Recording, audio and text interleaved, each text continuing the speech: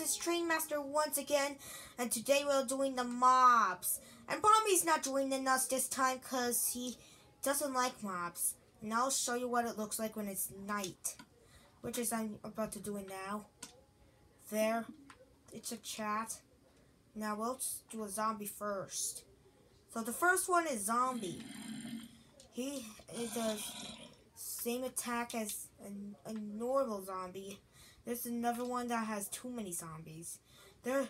So the next one is the zombie pigman.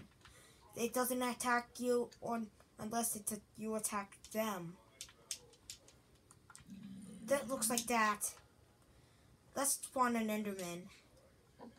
That's what it looks like. So the next one is a ghast. So, right there, they spawn in a nether. Now let's do a cave spider. That's what it looks like. There's Blaze, and there's a magma cube, and there's a witch. Okay. Okay.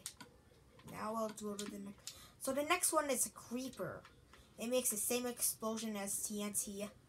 And now I'll take those out. So the next one is the skeleton. It shoots arrows at you.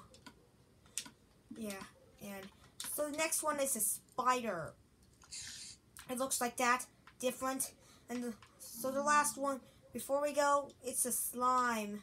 Sometimes they're big, sometimes they're small, sometimes they're medium. Oh, we got luck, and I got lucky on this one.